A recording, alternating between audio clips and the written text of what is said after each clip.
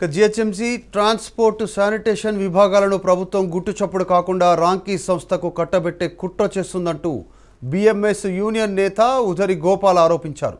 రాంకీ సంస్థకు ప్రయోజనం చేసేందుకు ప్రభుత్వం పెద్దలు కుట్రలు పన్నుతున్నారంటూ ఆగ్రహం వ్యక్తం చేశారు.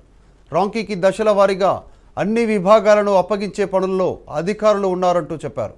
కార్మికులమంతా ఐక్యమై జిహెచ్ఎంసీని కాపాడుకుంటామంటూ తెలిపారు.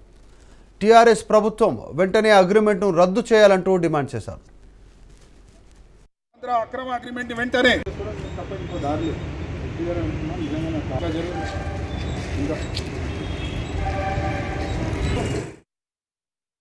జరిగిన అగ్రిమెంట్ అది ఆంధ్రప్రదేశ్ అగ్రిమెంట్.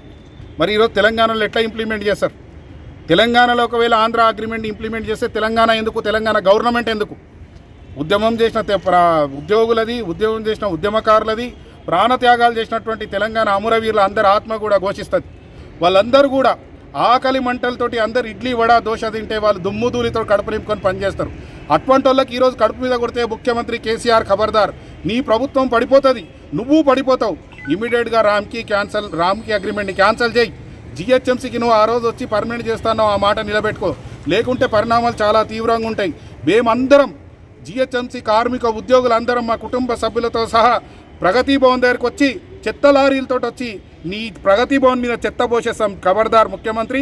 ఇమ్మీడియట్గా ఆంధ్ర రామ్కి అక్రమ అగ్రిమెంట్ని ఇమ్మీడియట్గా క్యాన్సిల్ చేయి మమ్మల్ని పర్మనెంట్ చేయి.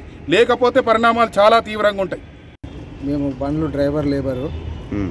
గత పదిహేను పదహారు సంవత్సరాలు అవుతుంది మేము చేయబట్టి ఇప్పుడు సడన్గా రామ్కి అనే కాంట్రాక్టర్ను తెచ్చి మమ్మల్ని అందరినీ తీసేస్తామని చెప్తారు ఈరోజు మా పెండ్లం పిల్లలు మేమంతా రోడ్డున పడే పరిస్థితి వచ్చింది. ఇదంతా తెలంగాణ గవర్నమెంట్ కేసీఆర్ ద్వారానే ఇదంతా అవుతుంది. ఆ రోజు నమ్మించి కల్లి బుల్లి మాటలు చెప్పి ప్రజలను మోసం చేసి మీకు ఇది చేస్తాం అది చేస్తాం అని చెప్పి ఏది లేకుండా మసిగుసి మారడిగా చేసి ఈరోజు పబ్లిక్ మొత్తం మోసం చేస్తుండు. ఈరోజు పబ్లిక్ మమ్మల్ని అందరినీ రోడ్లో పడేసే పరిస్థితి తెచ్చిండు. రామ్కి కాంట్రాక్ట్కి ఇచ్చిండు. రామ్కి ఎక్కువ బడ్జెట్ తోటి ఇస్తుండు మేము చేస్తే తక్కువ బడ్జెట్ తోటి అయిపోయేది. ఈరోజు రామ్కీకి ఎక్కువ బడ్జెట్ వాళ్ళ కమిషన్ల కోసం మాత్రమే ప్రైవేట్ సంస్థకి ఇచ్చి ఈరోజు జిహెచ్ఎంసీని ఆర్టీసీ లెక్క ఏదామన్న ఉద్దేశంతో చేస్తుండు. అందరినీ మభ్యపెట్టి అది చేస్తుండన్న ఈరోజు మా ఉద్యోగాలు మాకు ఉండాలి.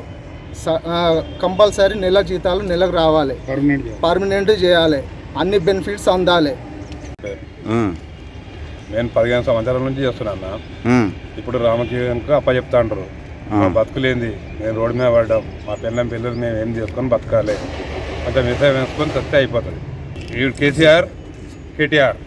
ఆయనకి అప్ప చెప్తామని చెప్తున్నారు మాకు మా ఉద్యోగాలు మాకు కావాలని మేము కోరుకుంటున్నాం. డ్రైవింగ్ చేస్తున్నాం ఇక్కడ ఎల్బీ నగర్ జోన్లో. రెండు వేల ఆరు నుంచి పర్మనెంట్ చేస్తానని చెప్పినాడు.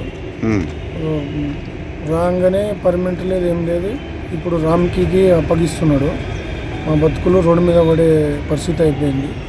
మేము మా బతుకులు ఏంది? మేము విషం పోసుకొని సచ్చే మార్గమే ఉన్నది వేరే మార్గం లేదు.